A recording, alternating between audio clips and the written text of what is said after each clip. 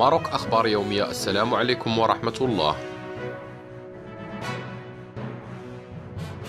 تعرف عدد من المراقص والعلب الليلية المنتشرة في كبريات المدن المغربية ظهورا ملفت لراقصات روسيات وأوكرانيات وبولونيات.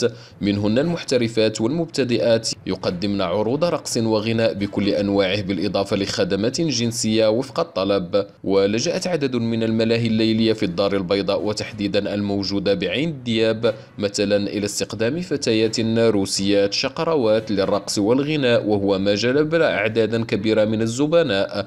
مصادر تنقل أن مدن أخرى مثل أكادير ومراكش والرباط وطنجة باتت تشهد نفس الظاهرة التي تتنامى يوما بعد يوم وذلك لجلب عدد أكبر من الزبناء المتعطشين للسهر والرقص مع الروسيات.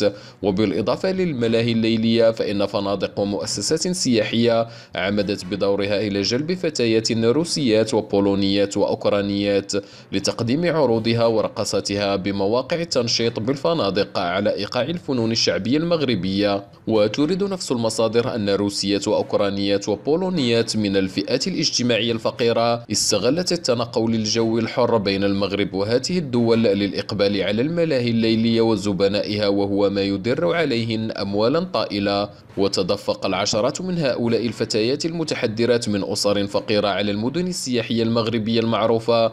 تحت غطاء السياحة وعرض خدمات الرقص لعرض خدماتهن الجنسية لنوع خاص من الزبناء الذين جلبهم جمال الروسيات وقوامهن وجاهزيتهن لممارسة الجنس خارج أوقات الرقص. وفي ذات السياق فككت المصالح الأمنية الإسبانية في مدينة مليلية المحتلة مؤخرا شبكة دولية للدعارة الروسية والأوكرانيات وكشفت التحقيقات عن وجود وسطاء مغاربة متخصصين في استقطاب ممتهنات الدعارة الأجنبيات إلى كباريهات مدينتي مراكش وأكادير وراء الشبكة التي وصفتها التحريات التي أجرتها الشرطة الإسبانية. بالثغر المحتل بشبكة الدعارة العابرة للقارات.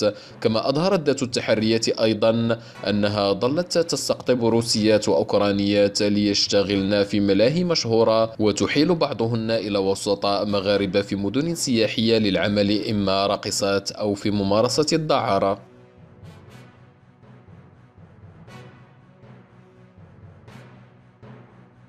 نشكركم على حسن المتابعة. قناة ماروك أخبار يومي.